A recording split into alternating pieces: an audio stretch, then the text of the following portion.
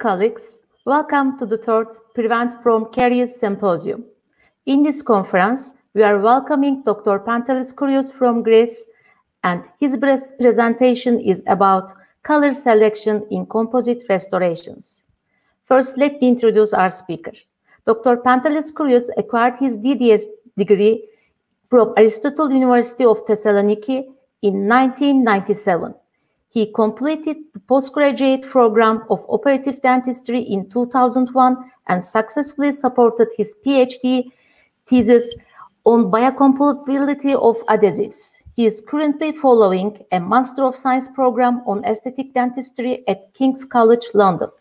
His clinical focus is dental aesthetics and minimal invasive dentistry, and he is working as a tutor in the postgraduate program of operative dentistry at the Dental School of Thessaloniki.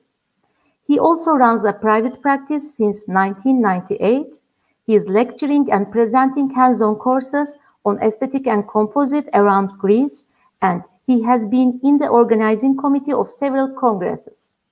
He has published his work, research work in Science Citation Index peer-reviewed international and domestic journals.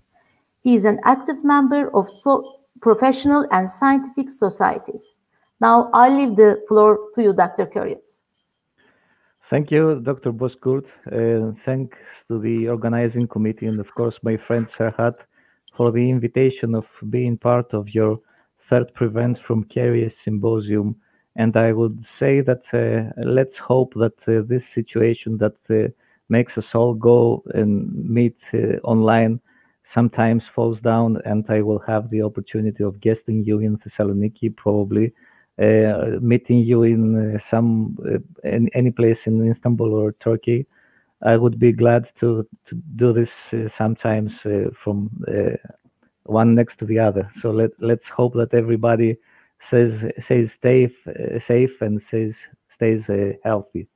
So uh, let me update my CV because it was a little bit outdated. So I'm very sorry. I I, I I must have sent you uh, an old uh, CV of mine. So just let me uh, start my presentation. I, I, have a small introduction of my uh, CV. So please uh, confirm if you can see uh, the presentation. Is everything okay? All right. So not, not, not now. We are just waiting for your screen. All right. I I have started sharing it, but Please let me know when I am able okay. to start. We don't see it right now. We are waiting. Okay.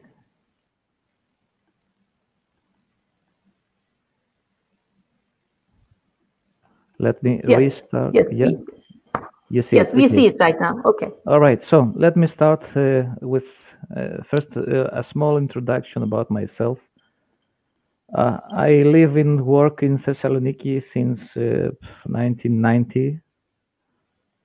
Thessaloniki is uh, at the northern part of Greece and it's very near to the ancient uh, capital of uh, Macedonia, uh, which was the hometown of Alexander the Great. Actually, Thessaloniki is the name of Alexander the Great's sister.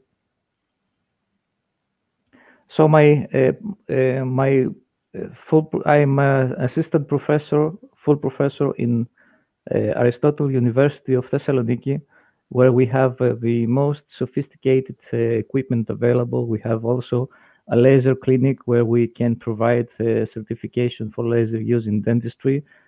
we have equipped the recently the uh, undergraduate clinic with uh, very sophisticated equipment and we also have options of making uh, courses on microscopic dentistry.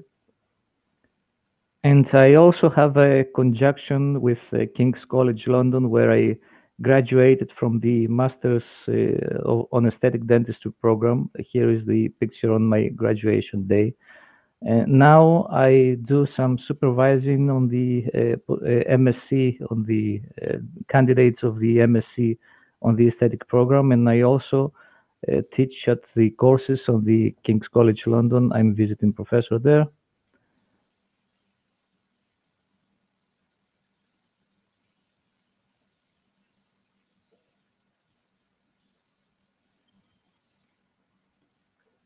Eh, dear, dear doctor, uh, we cannot hear your voice.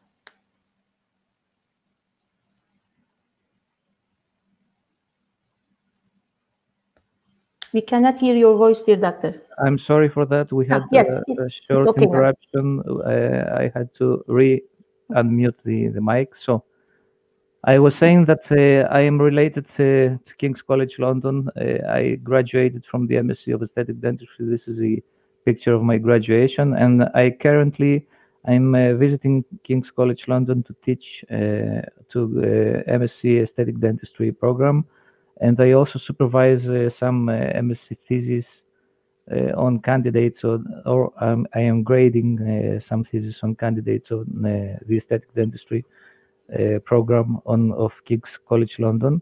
Uh, my own dissertation was related to color coordinates of dental resin composites, and it was an introduction of a colorimetric workflow for direct restorations. This uh, gave rise to the uh, to an application that uh, further has been developed and keeps developing, and I will have the opportunity at the end of my lecture to present to you a, a workflow. So today we we're here to talk about dentistry, but uh, I'm trying, I will try more to talk about optics, optics actually in dentistry. And when we say, when we talk optics, uh, I have to say that color is a measurable value. It's not quantitative, it's qualitative. We can actually measure color, and we, we do so uh, when we communicate uh, one to each other. We do so, we do communicate color. But first, let me say that colorimetry is the science that quantifies and describes physically the human color perception, while spectrophotometry, it's a different uh, issue. It's the quantitative measurement of the reflection of transmission properties of a potential of a material as a function or a wavelength. Okay, so how do we qualify color? Let me speak first about how do we qualify color in computers. For example, in this slide, when I, I was made in it, uh, if you uh, go and look for the colors, of the color options, when you, for example, uh, you have a font, then you can see that you have the RGB. The RGB stands for red, green, blue, and you have some values. And you can make these values hue, saturation, and luminosity. And then you can communicate those three numbers and provide to, uh, to a distant location an exact color. And you can see that changing the value, changing, for example, the luminosity, it changes the color. Okay? So this is how we communicate colors in computers. Of course, the final product, uh, it's a different story because uh, if we do not have calibrated uh, screens, then we will not see uh, the same color because we also need to calibrate things in color. Uh, we all know that when we visit some stores which uh, sell televisions, for example, which show project the same program, we see the differences in colors. This is because they're not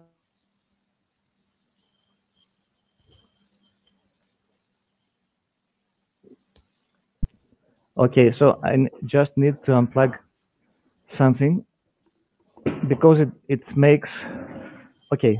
So we will have no intera- in interactions since okay. All right.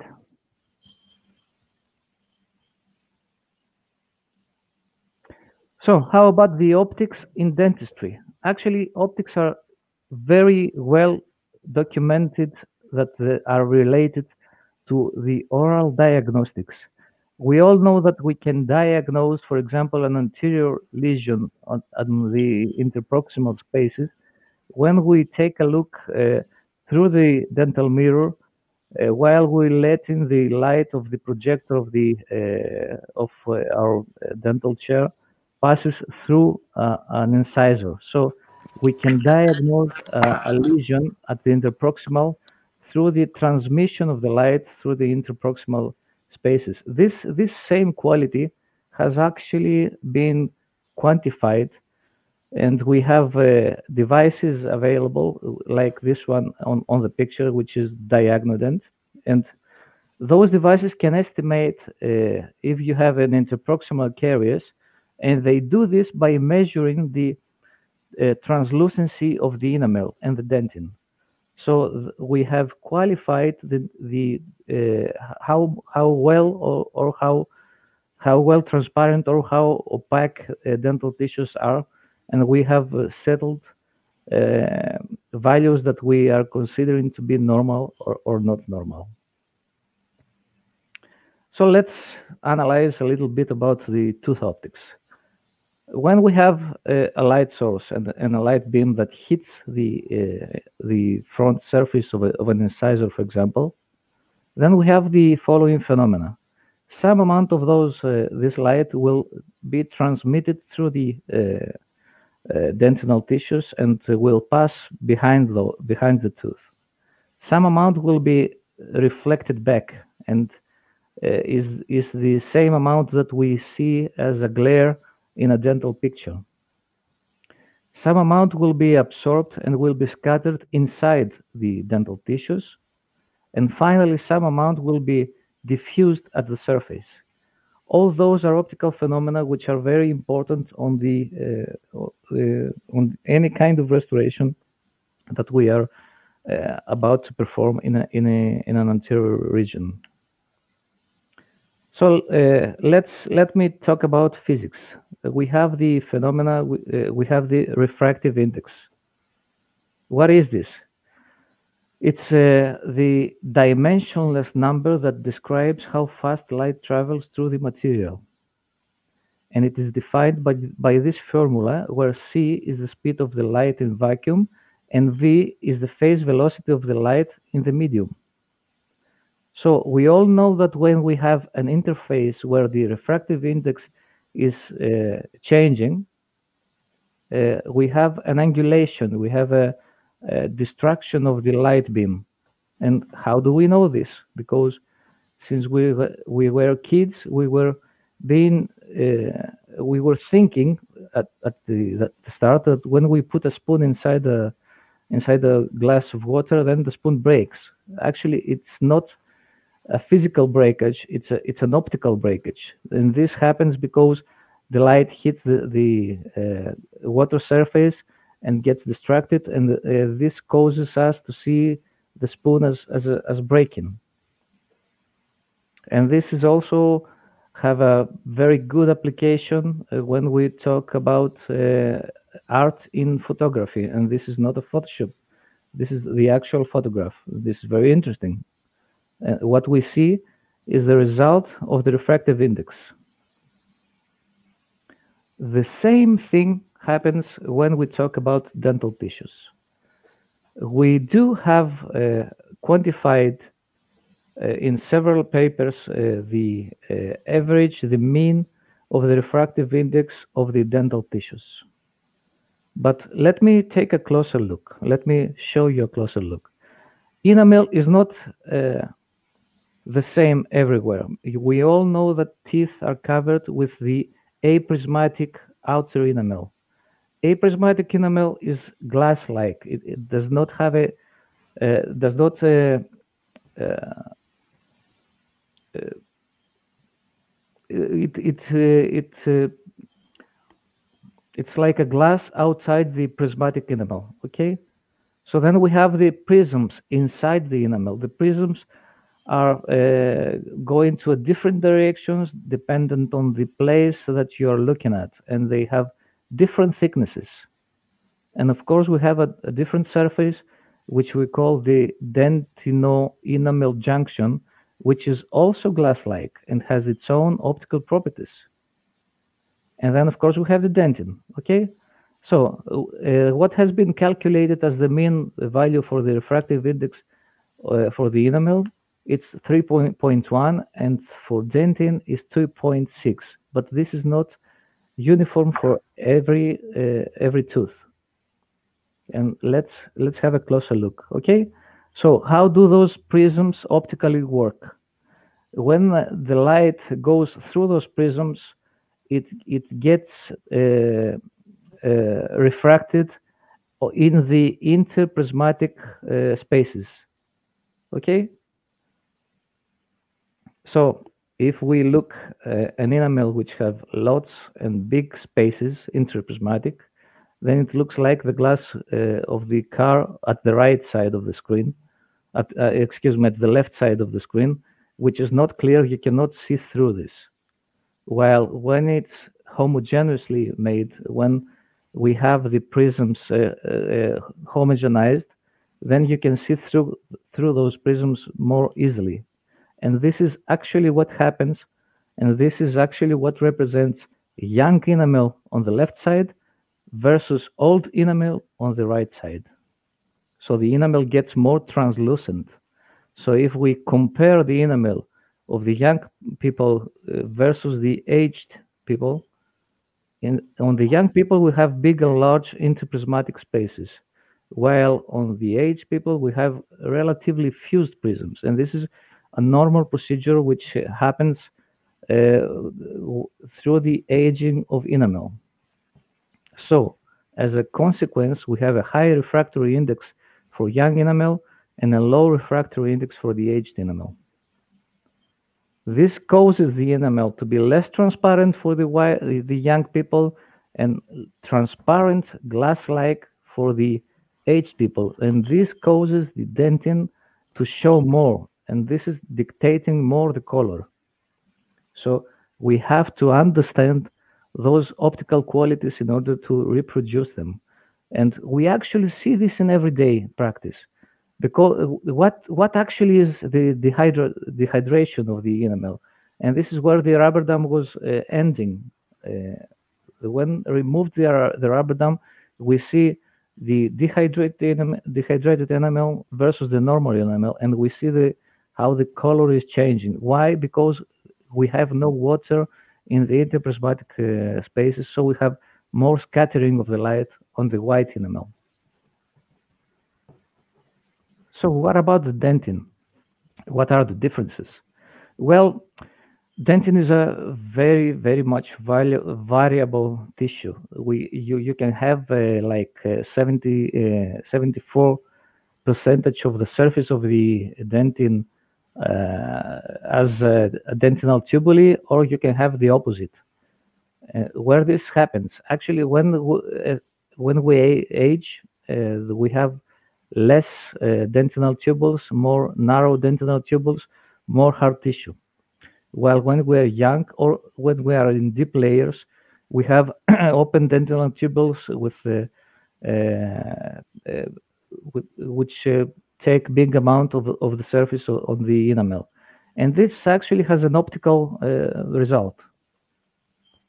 The result is that the age or the superficial dentin is uh, has a low luminosity, it's dark, and it's uh, highly transparent. And I, I, I need you to understand that the dark in the dental tissues or the any semi-transparent material like the dental tissues is equal to translucent. Dark equal to translucent. Please keep this in mind. While uh, for young dentin, uh, it's highly, it's high, uh, its luminosity is high, it's white, it's uh, it's bright and uh, the translucency is low, so it's relatively opaque. So if you if we take those and put those together, for the aged, aged individuals, we have dark dentin, transparent, plus translucent enamel. So the average is more translucent and more dark. While for the young individuals, we have some bright dentin which scatters light and then we have some relatively opaque enamel. So the this is why we see white teeth and bright teeth on the young individuals, and this is why as we get older, our teeth are getting darker and more translucent. So when it comes to our restorations, okay, we are trying to mimic uh, enamel plus dentin plus the aprismatic enamel on the surface plus the dentino enamel uh, junction plus all those optical criteria, all those uh, different uh, ways to scatter, to diffuse, to reflect light with a relatively homogeneous material. And this is a C, uh, an SEM picture of a composite resin. Uh, it doesn't look uh, that has some kind of heterogeneity, but it, in our eyes, those are less than 40 microns and are not visible, the, the fillers. So it's, it, it's considered optically a relatively homogeneous material. So what is that uh, uh, optical properties of composites are mostly dependent of on First of all, the percentage of the filler volume. The more filler, the more filler that uh, uh, composite contains, the more uh, opaque it becomes. Of course, it's related to the kind of the fillers that uh, is containing. Like, uh, for example, the filler shape and the filler size. For example, Estelite, which is a spherical uh, composite, this means that it does not contain any, uh, like those on the picture, fillers which are uh, uh, have no scheme or no, or no shape, uh, reflects the light more hom homogeneously, so it's more translucent. The spherical fillers create more translucent material. How about the chemical composition? The filler, uh, some fillers are more translucent than the other fillers, for example, barium and strontium fillers. And of course, the pigments of the organic matrix. Those are the main components that influence the optics on, the, on a dental composite. And of course, uh, the whole, from the start of my lecture, I'm trying to explain why we cannot achieve never uh, to have the same results under different lighting conditions. Why? Because we have we have a different molecular molecular structure on different materials, and this is what we call the metamerism. It's the optical quality of materials to appear different under different lighting conditions, even if they appear similar in one condition. So it, it's possible that we make uh, in our lighting conditions in, a, in our office in our practices uh, some uh, uh, some composite which looks perfect and then if you move to a different for example a yellow light or a blue light to look slightly different or even more different so this is we cannot avoid metamerism uh, unless we achieve the same molecular uh, structure of material. So let me talk to you about the chameleon effect. I'm going to let you see this very well, very good video.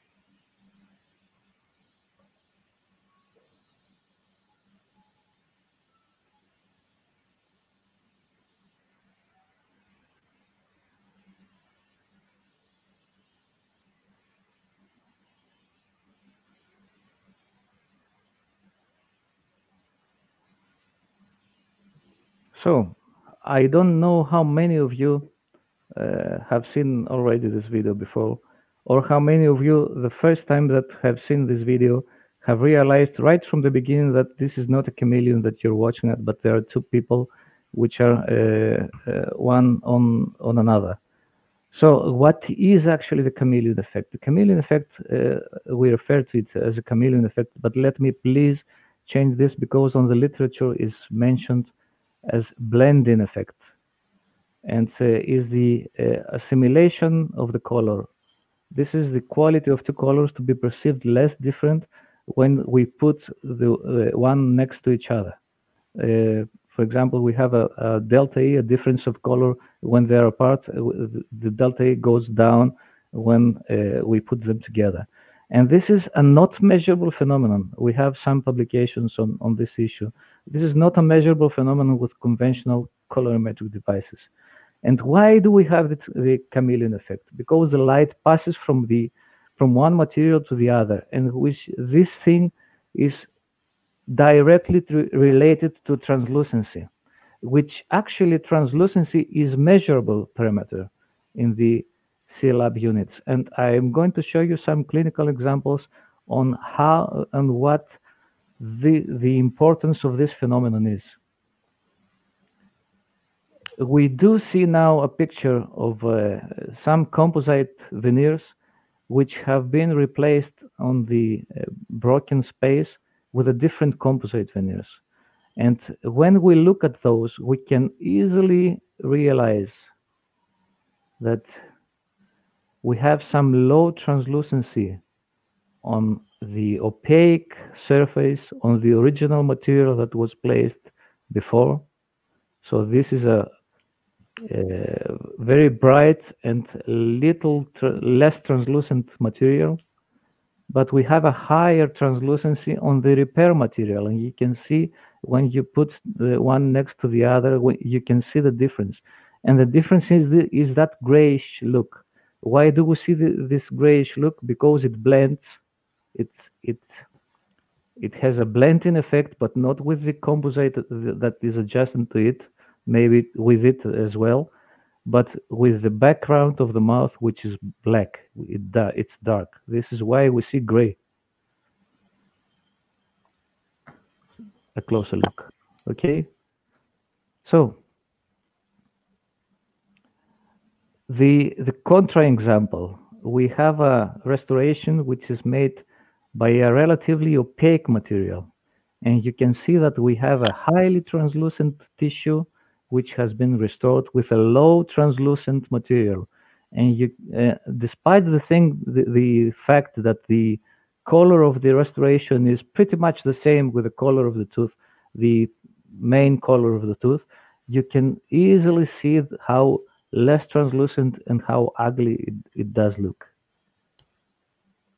And uh, this is my, uh, let me let me say, uh, zero case, uh, because this is my case. Uh, so this is a case which I very much like to to to show to my presentations, despite that the it, it's not a work which I'm proud of. Uh, I I've done this 15 years ago when I bought the SpectroShade device because I needed to have a, calculation number on the shades that I want to select from my composite. Then I took the SpectroShade. shade. the SpectroShade suggest me that I will have to use an A3 uh, material. So I went to my refrigerator. I took out the uh, A3 from the uh, Majesty Aesthetic from Kuraray, which is a, a spherical very translucent and very good material to to be used and I, I made these uh, restorations. I'm sure that all the time that you are looking at this picture, most of you have uh, been focused on those two restorations. I don't know how many of you are seeing this one. So these are three restorations which have been performed by the same person with the same material at the same time with the same techniques yet uh, the two of them are highly visible while we have a, a, relatively invisible restoration. Why this is happening? Because those two restorations are do not have any palatal wall uh, as a remaining behind, while this restoration has a remaining palatal wall. So you see a case where we have both uh, the blending effect, the chameleon effect, a friend of us and an enemy of us. So if we put those together, when you when we select a shade for the anterior zone, first things first, we have first to decide about what kind of translucency we need our material to have. So decision number one is the translucency, and this will be dependent on the number of the cavity walls that we have available. So if you have a high number of bonded surfaces, if like uh, the one that was not shown on the case which I showed you before, or you have a low number of the bonded surfaces like the ones that had no background on, on the behind, it's a different case. So if you have a palatal wall intact or the palatal wall is missing. So then on the left side, the, the blending effect is a friend, while on the right side, the blending effect is an enemy. So you have to select a translucent composite when you're having the case which is on the left side, well, while you have to select an opaque composite system because this will have to give to provide the color characteristics that you did, not to to uh, acquire the, its color from the environment, but it has to provide the color to the restoration. So uh, a, a, case example, it's a class three lesion for the for a translucent composite and a class four lesion for an opaque composite. This is very important. Please, if you if you wish, take a snapshot on, on this slide, please. Okay, so how do we measure the translucency? We actually uh, are measuring the L, A, and B uh, on the CIELAB system, which I will uh, talk later, uh, against black and against white background. And this will be the translucency parameter. And the translucency of a material is thickness related characteristic. Let me make a short comment because we have not that much, that much time about the uh, Vita shade guide or any shade guide.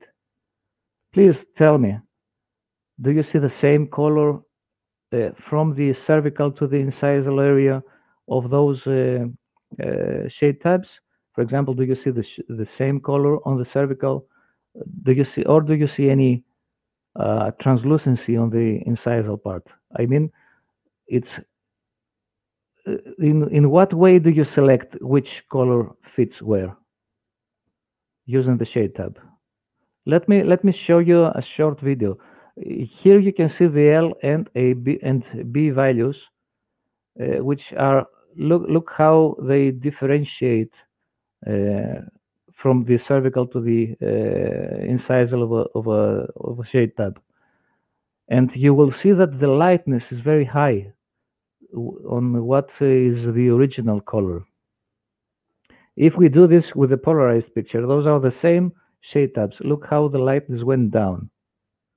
So the polarized pictures is, is uh, able to provide us the real colors and make, make us estimate the real colors. Yet you can see that there is a high change uh, while we move from the cervical to the incisal area. So actually you cannot uh, select a shade with this way. You can only communicate this to the dental uh, technician, uh, which will use those pictures to, to try to imitate the uh, the, the natural uh, optics of the of the adjacent teeth. And okay, how do the shades of commercially available composites do correspond to the Vita shade guide or any other shade guide, not just the Vita shade guide. Do they correspond actually? This picture is courtesy of Angelo Putignano, the founder of Style Italiano, and those are uh, one millimeter thickness samples, and they have all been classified as A3 composites, which you can see how uniformly they fit uh, how well they fit on the on the uh, color parameter. Actually, they're totally different to each other. You cannot select an A3 and then go and select which one, this one or that one or this one. It's totally different. So you cannot take a shade tab, select the the, uh, the color according to the shade tab, go to the refrigerator and take the the uh, what is named to be the same color and, and expect a good result. This is impossible. So what are those LAB parameters? This is the Hunter color space which has been created back in 1946 and has uh, lately in 1976 has been modified by the Commission of uh, Illumination. Uh, and they uh, they have been classified the luminosity on the uh, vertical axis, and we have the black colors on the bottom and the white colors at the at the top. And they have created two axes. The A axis is green versus red, and the B axis, which is uh, the the important uh, axis on the dentistry, is yellow against blue. Why is it important? Because we all know that uh, yellow, which means plus B values are dentin, and blue, which means minus B values are enamel shades when we're talking about layering systems. So if we actually take and calculate the LAB parameters on the, uh, for, example, those A3 body shades, we do see the differences that I was describing before. For example, the Estelite A3, which is the blue, is this one, is somewhere in the middle on the yellowness. The B value is the yellowness, how yellow or how blue it is. Okay, and you see that it's thickness dependent, 0.5 millimeter sample, 1 millimeter, 1.5, 2 millimeter sample thickness. Okay, so you see how it develops the yellowness. And you can see that the most yellow A3 is Estelite, is, I'm sorry, uh, this is the mosaic. And the less yellow, the more bluish uh, A3 body shade is the Gradia anterior A3, which is also has some logic behind it because it's it's an anterior material. It has to be less blended, less translucent. This is why it's more whitish. So if we take a look at the translucency, then then look how expected is uh, by what I have explained so far that the Estelite A3 is the more translucent material. Why? It's spherical. It is spherical. So it was expected that it will be more translucent. While the Gradia anterior A opaque 3 is as expected to be less translucent. It is an opaque material after all. It has to be that way. All right. So, uh, but if you compare the genial anterior A opaque 3 to the Asteria A3, B, A3 body, it's very close. So you see that those two colors are classified in a different way. The one is opaque, the other one is body, but they behave optically the same. So we have to know those things. We have to uh, evaluate our composites before we use them. And let me let me comment on the luminosity. All right. So as expected, the more translucent material, the less luminous it is.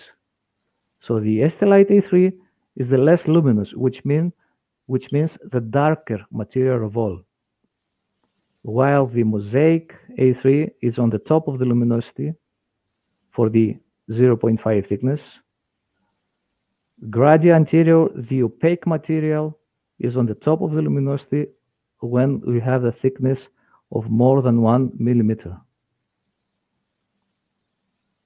And how about the omnichroma? We all know the revolution of the never take a shade again one composite that fits to all colors. How do you think that this happens? What do you think that is the quality of the Omnichroma composite that makes it fit to all composites? I think that if you have watched carefully what I just described, then we all know that we are talking about translucency. And please, this is the brochure of the Omnichroma take a look. It's class one cavities. Class one cavities have have the surrounding of the walls, have all the walls. So the material can blend inside uh, and can pick the color of the of the tooth. So how do you think this this material is going to be? Is going to be highly translucent or low or low translucent? this is a sample of one millimeter thickness. You can see right through it. It's glass. It's almost bears no color uh, characteristics, nothing. It's glass. And here it's the omnichroma blocker, which comes uh, together with the omnichroma. So the the uh, the th the thought behind this system it's two materials and just play with the thicknesses. The omnichroma blocker on the one millimeter you cannot see anything, so you have a glass and a wall, and then you can match them together and try to imitate what you see. I don't know how how easy this is, but I actually have calculated this uh, translucency parameter of the omnichroma, and you can see that the uh, uh, the translucent omnichroma is almost two times as translucent as the blocker. So you have two materials, one opaque, one like glass, glass-like, and then you can uh, play with the thicknesses of the material that you use in order to imitate the uh, adjacent dental tissues. In my opinion, this is going to work very well in class 1 cavities. It's not going to work in class 2 cavities. It's not going to work never in class 4 cavities. Probably it may do does some work when you have class 3 cavities. So all those data that I showed you, it's a, a very, uh, uh, it's a work with a great effort, which I formulated and then I have created a, a huge database. I'm going to show you. Okay, I was uh, uh, making samples of different thicknesses and uh, I'm still doing this and I am uh, calculating them against gray, 75% gray, against black and against white and I, I'm trying, I am calculating the optical parameters uh, for different thicknesses of all the composites that I could uh, get in my hands. Uh, also, this gray card that you saw in the in the previous slides, it's a gray card which I created, and I'm not yet uh, trading. I'm not. Uh, I, am only offering to to friends to to try. uh, which is very uh, small. It's uh, two to three centimeters, so it can be placed right behind the incisal edge of a, of a tooth. So you can measure actually the color, the translucency of the tooth if you measure the tooth against black uh, versus against a white background. So you can measure the tooth and then you can uh, refer to the to the actual database, which is the it's it's not the Vita Shade Guide A3 or the uh, uh, Ivo, the Chromascop, uh, this one or that one. It's the actual optical properties of the actual materials in this database. So then I put all those together and I created a software which is uh, uploaded in an application which is called Dental Shade Navigator. We already shown the logo on the screen several times. And I am trying to create a, a, a realistic uh, workflow. Uh, so uh, if you go and download, it's free to download. It's, it has no uh, charge at all. I'm not making money out of it. Okay, so what I am trying to, to do is, is to suggest an, a colorimetry workflow uh, to select which shade is better for each case. Okay, so let me show you a clinical example. Uh, first you take a, let me go back. Uh, first you take a polarized picture. Uh, you can do this with a mobile phone. Uh, I'm using the MDP by Smile Lite, which has been made by Dr. Louis Hardan. Everybody knows him and uh, I'm taking those directly to the to the phone. But uh, I have provided the option to take this picture to with your DSLR camera, but then you have to upload it to the phone so it can work with the application. For Mac users, uh, soonly I hope that not uh, soonly I, I took the news that the application is going to be passed to the to the laptops of the Mac, so you you're gonna have to the option to use those on a laptop as well. So what's the application all about? You select first what kind of case uh, you like to use.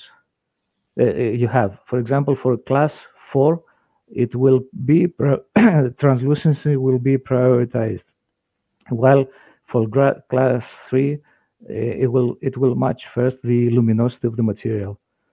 then you have to uh, select what kind of clinical approach you you're comfortable to to use. I mean, if you use a single shade, then uh, you will have not the option to select the enamel thickness. You you will only select a body shade thickness. Uh, if you select the layering, then the software is going to be asking you to select what kind of thickness uh, you estimate that you are going to be uses to be used.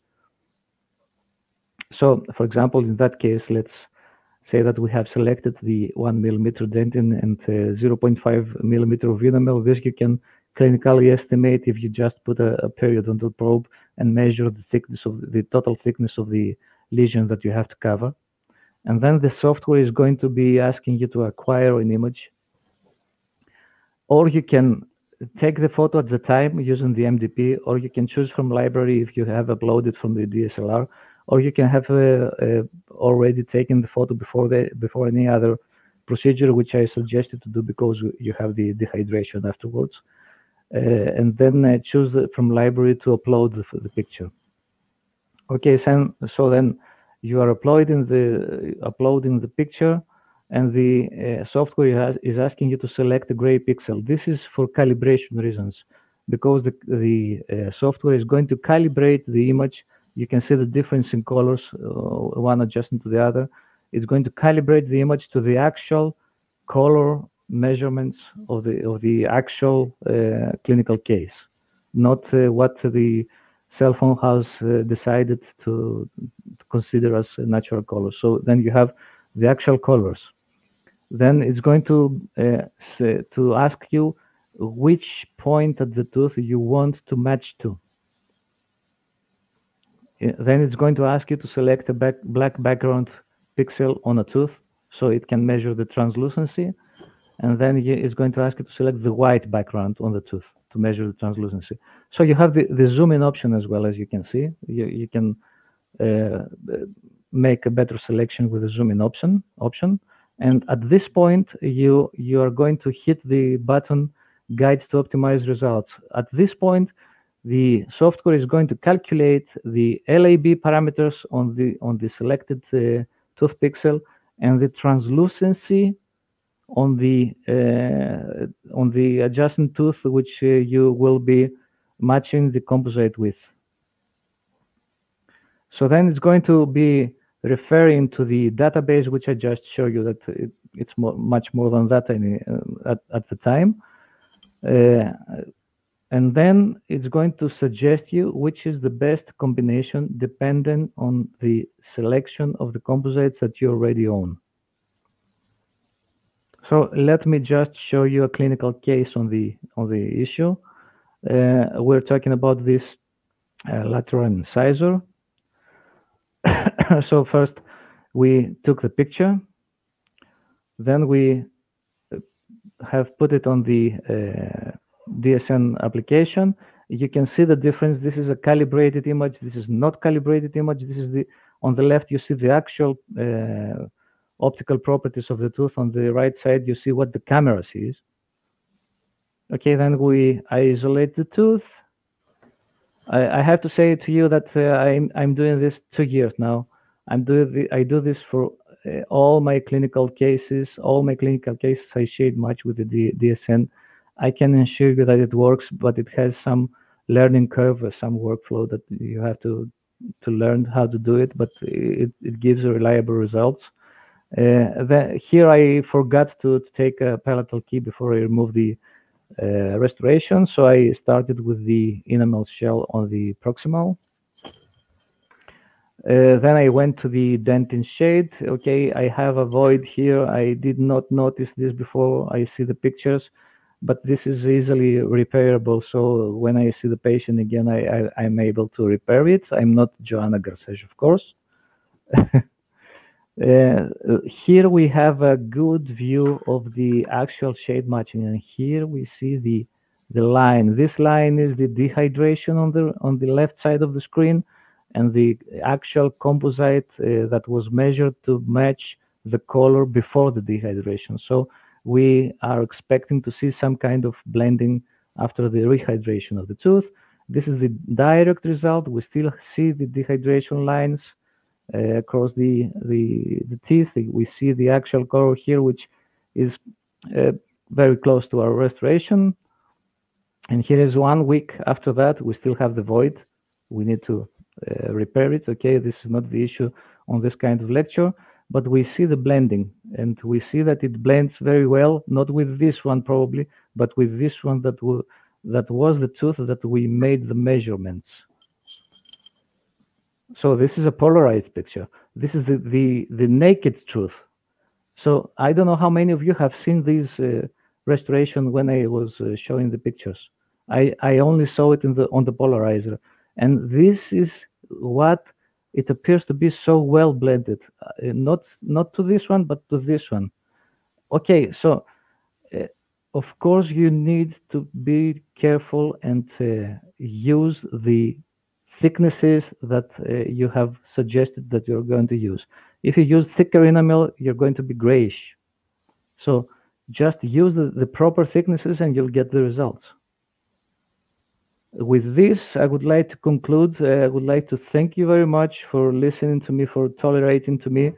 I would like also to invite you, please uh, follow our uh, Instagram and uh, face, Facebook uh, page uh, on the Dental Shade Navigator. The application is completely free to use. You can use it with any gray card. Uh, you can um, uh, modify it and to fit your needs.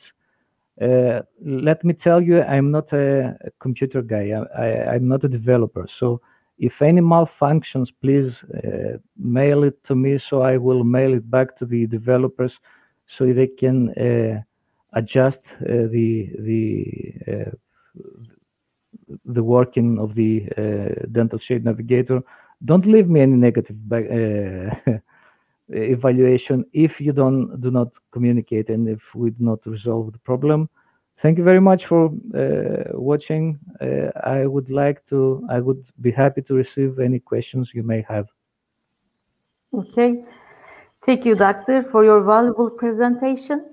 And I'm checking if there is any question for you. We don't have any questions. So wow, wow. So any everybody was was sleeping. it was very clear, and you give detailed information about the physics and also the structure of the tooth. And uh, it's interesting to share the dental shade navigator with us. Uh, I just wanted to ask, uh, you are using it for anterior uh, yeah, yeah on, only for anterior teeth. Only anterior. I don't see any any reason of uh, implying this to the posterior teeth because uh, use an A3, it will blend.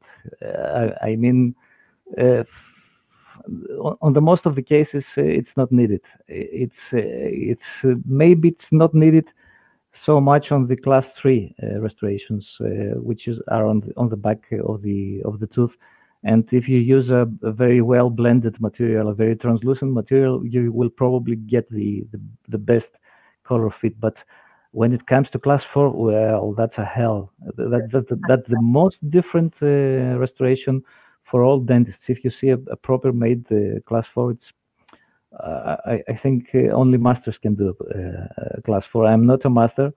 I'm colorblind as a person. Uh, that this means that, uh, okay, I am a man. I'm over 50 years old, so I cannot see colors the way that a woman sees it.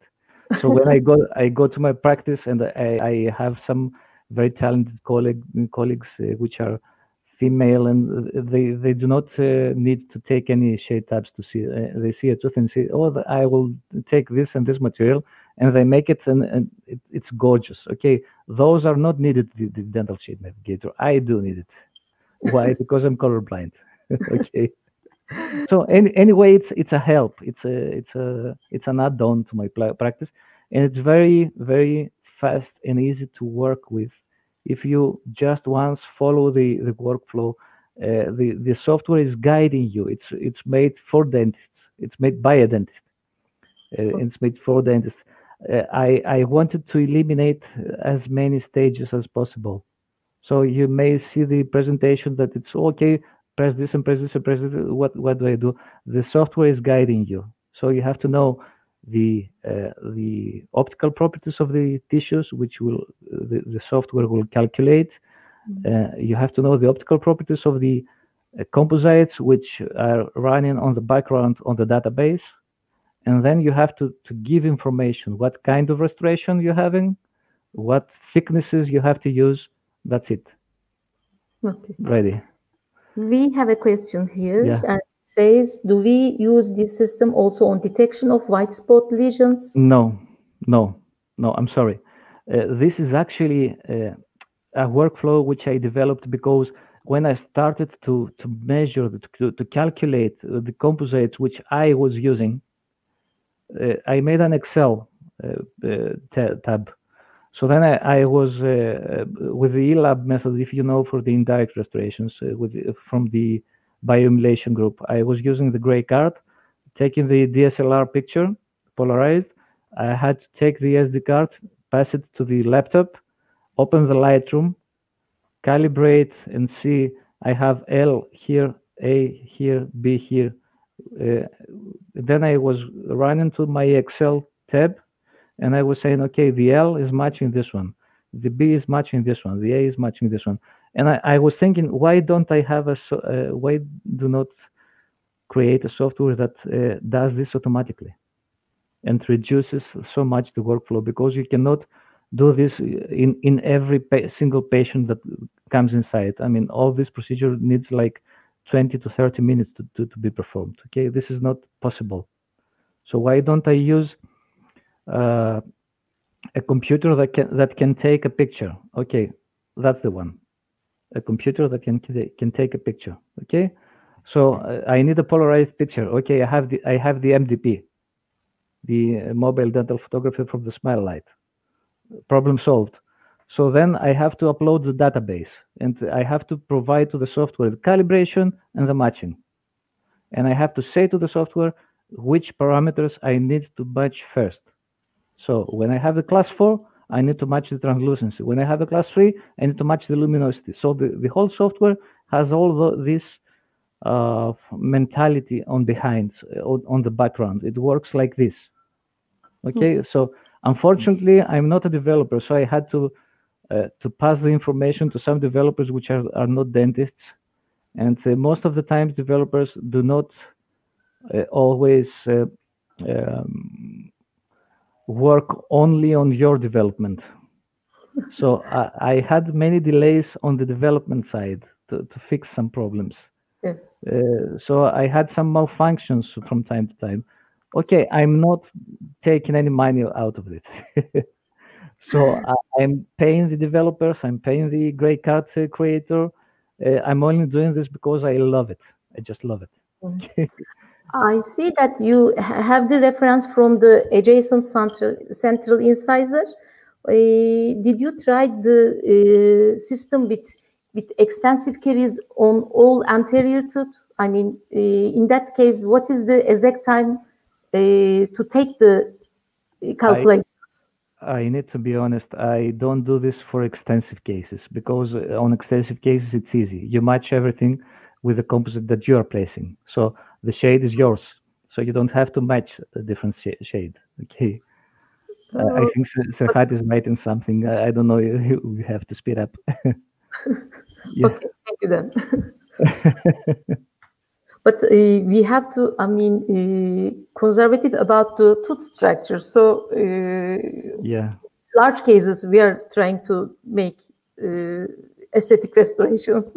I would be glad if you could, uh, on the future, do some lecture on, on it. Uh, if you want me, I will send you a gray card. You can download the application. And please, please, I would be more than happy. then take the okay, uh, on the behalf of the organizing committee, I would like to thank you all for your attendance, and uh, it's time to close the session now. Bye. Thank you very much for being here. Thank you very much.